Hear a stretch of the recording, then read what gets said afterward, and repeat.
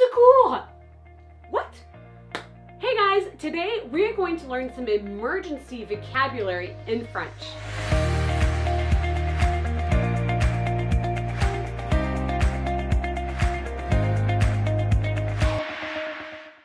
So diving right in, une urgence.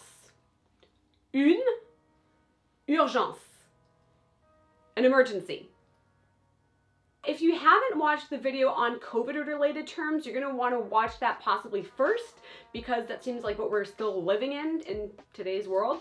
But this is a video that's going to be handy to teach you some emergency vocabulary. I'm also going to provide you with a funny yet cultural difference that you might not be aware of unless you hear it.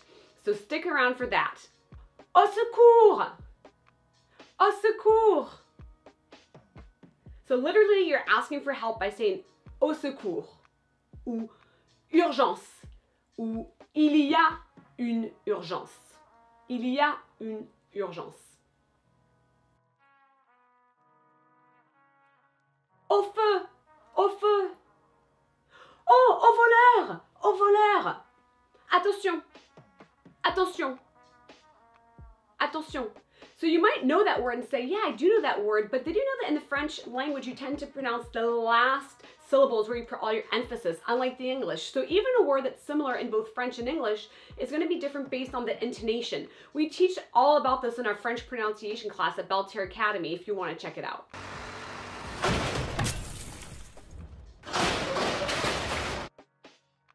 Un accident.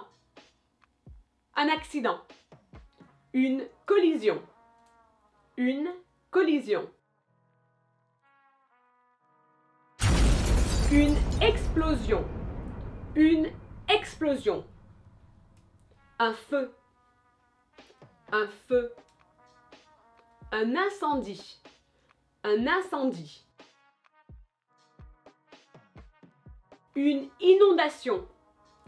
Une inondation. Un coup de feu. Un coup de feu. Un coup de feu. Petite pause. So what would you want to put before some of these words? Like if you're talking about possibly that there is a fire or there was a gunshot, what would you want to put?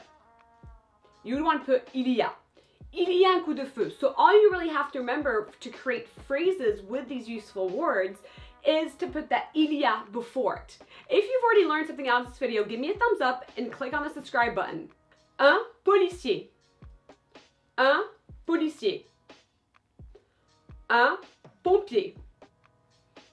Un pompier.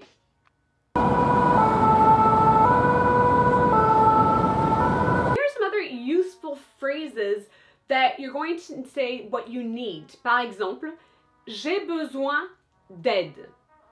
J'ai besoin d'aide. J'ai besoin d'un médecin. J'ai besoin d'un médecin.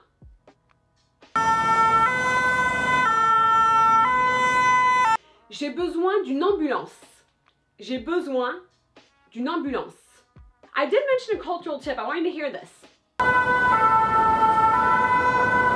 If you're used to hearing a fire truck or an ambulance, you're gonna notice that in France, they sound different. It's just a different sound. You get used to it. It was actually odd for me moving from France to the United States to hear the English version of an ambulance or a fire truck. But in France, it is different. So that was a fun, cool, kind of interesting cultural difference that I wanted to point out in today's video. Comment what you would like to learn in French and I will provide you with that lesson. À bientôt tout le monde!